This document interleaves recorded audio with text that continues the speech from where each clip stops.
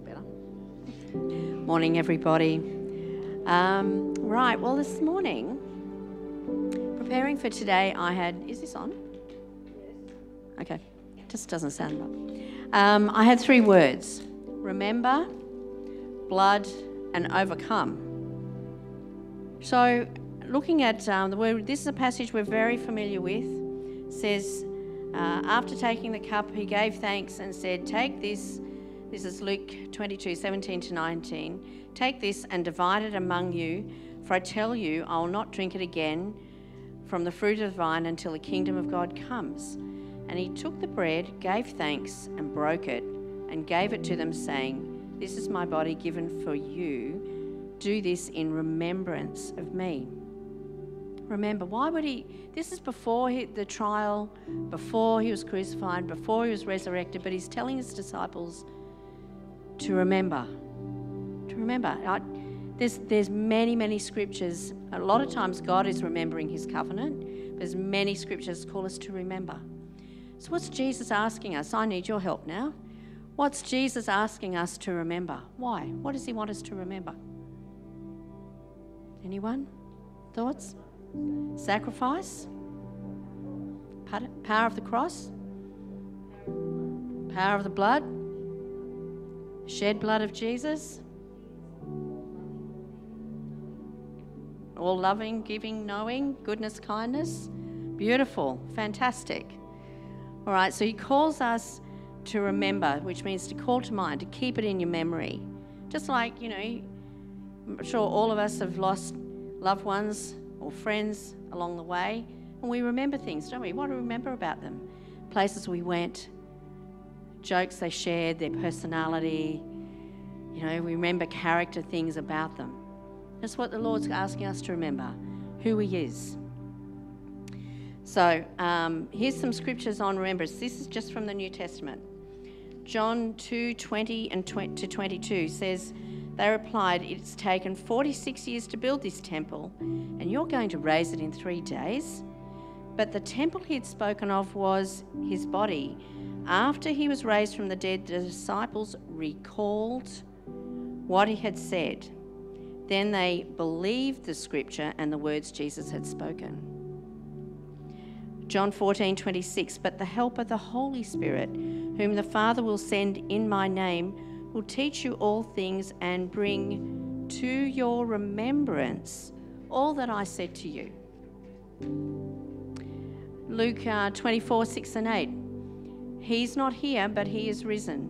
Remember how he spoke to you while he was still in Galilee, saying that the Son of Man must be delivered into the hands of sinful men and be crucified, and the third day rise again.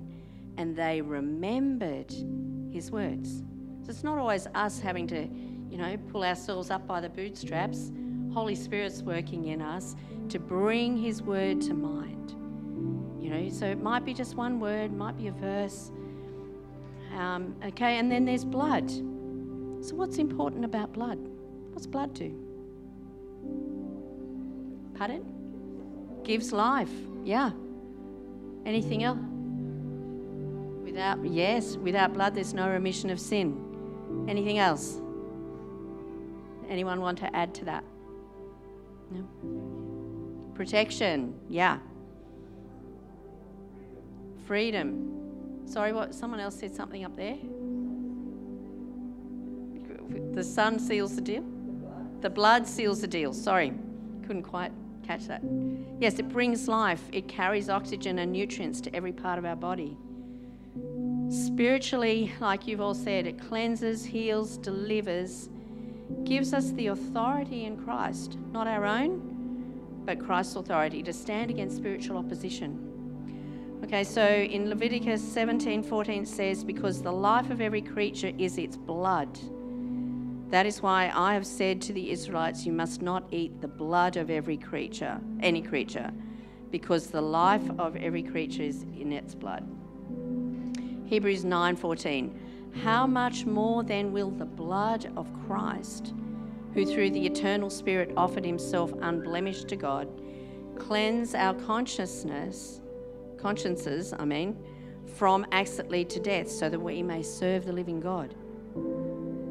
John 6:55 For my flesh is real food, my blood is real drink. Whoever eats my flesh and drinks my blood remains in me, and I in them. You know, and you know, like for us in Australia, we're very fortunate here so far. Because we don't, you know, it says here in Hebrews 12:4, your struggle against sin, you've not yet resisted to the point of shedding your blood. You know, I read uh, this morning, just in 2023 alone in Nigeria, over 8,000 Christians have been uh, massacred for their faith. Over 50,000 since 2009. Wow. Like we don't, we just don't, it's, it's not in our realm. We're not, we're not, we're not, uh, we don't think like that so far. The last word, overcome. So John 16 33, I've told you these things so that in me you may have peace. In this world you will have trouble, but take heart, I have overcome the world. Uh, 1 John 5 4, for everyone born of God overcomes the world. This is the victory that has overcome the world, even our faith. So, um, we're nearly there. Um, Revelation 12 11. They triumphed over him by the blood of the Lamb, by the word of their testimony. Wow. They did not love their lives so much as to shrink from death. So let's take the cup today and let's just remember, remember, remember Jesus. Remember, uh, you know, and when you're having a hard time, call to mind the promises of God. Call to mind, you know, go and read that one or two scriptures. Remember his promises that he doesn't leave us. Remember the power of the blood. That's how we're overcoming today through this week.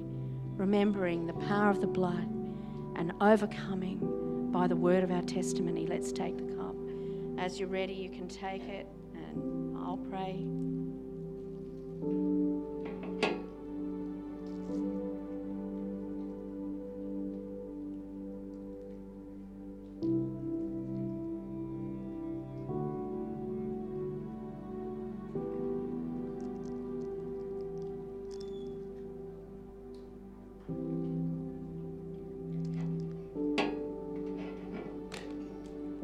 Want to thank you this morning that you've told us to remember, to take the cup and the blood, to remember you, to remember your loving kindness, to remember your goodness, to remember that you never leave us, that you're always with us. Lord, we thank you for that. We thank you for the power of your blood to cleanse, to heal, to deliver, to set free, to give us the strength to stand against powers and principalities, against every opposition.